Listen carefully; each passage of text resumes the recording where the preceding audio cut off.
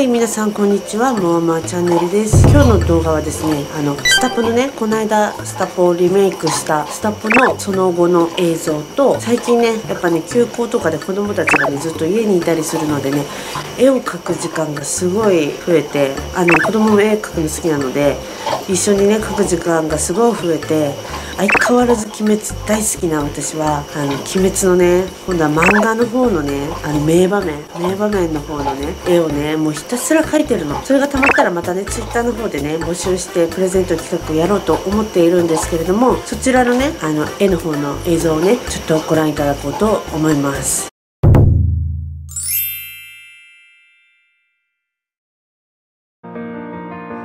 生きることを頭で考えたこと何でも理由を求め探してさまよってやがて道となり幾千幾万幾億の英雄は行くいつか失いゆ I used to be so beautiful now look at me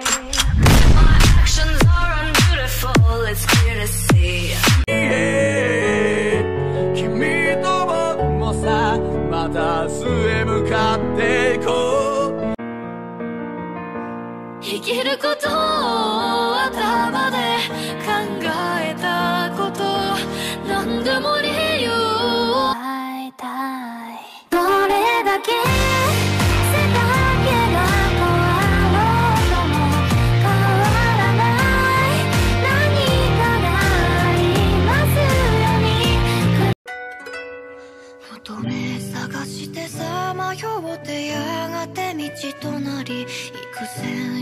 万幾億の英雄は行く。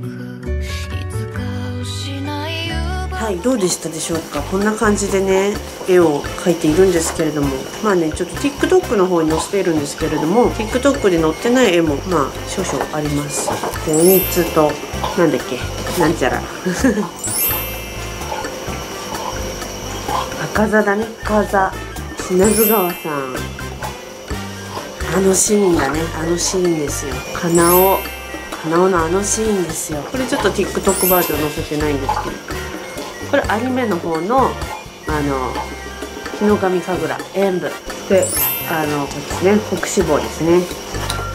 あとこちら胡蝶となんだっけローマでこっち伊之助と母ちゃん。こんな感じでね結構溜まってきてはいるので、まあ、もうちょっとかなもうちょっとしたらまたあのプレゼント企画に募集したいと思います。それではねあのスタポのね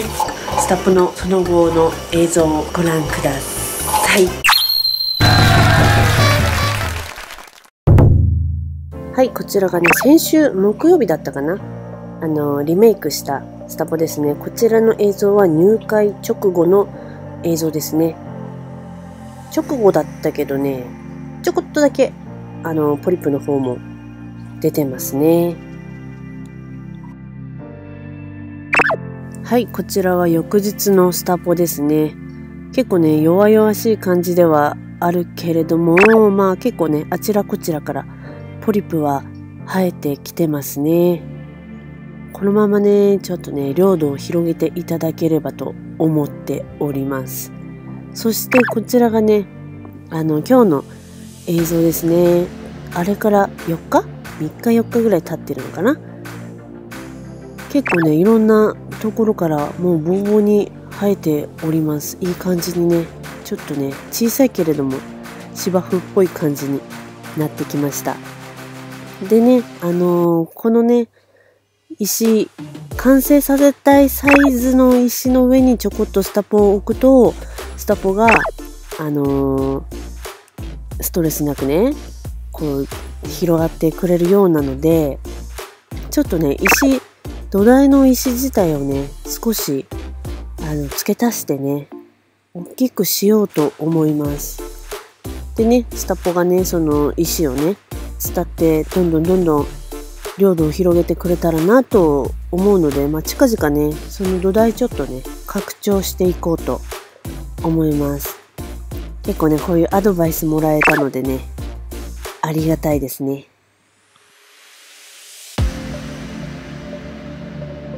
そして今ね、ちょっと訳あってね、水槽の、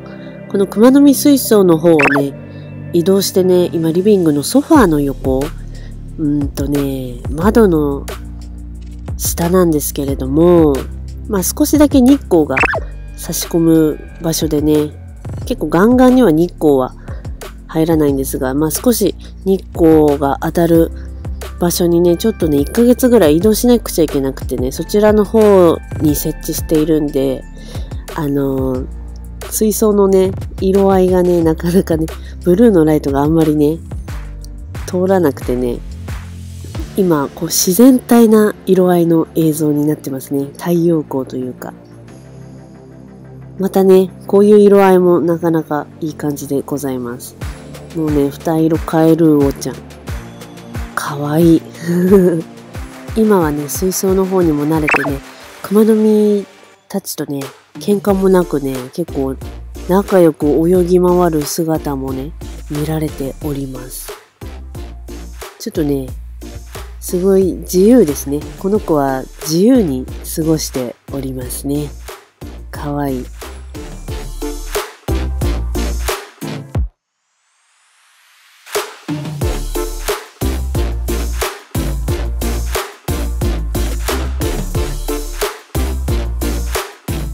はい、今日はね、こんな感じの動画でしたね。鬼滅の絵とね、最近のスタポのその後の動画でしたね。鬼滅の絵はね、ちょっとまだね、子供たちも家にいる時間が長いので結構ね、絵を描くことが多いので、これからもね、どんどんどんどんちょっとね、描いていこうと思います。でね、描いて溜まったものはね、またね、ツイッターでね、あの、プレゼント企画で募集いたしますので、まあ、その時をお待ちください。何が当たるかはわかりませんけれども、またね、あのー、書いていきますので、その時はよろしくお願いいたします。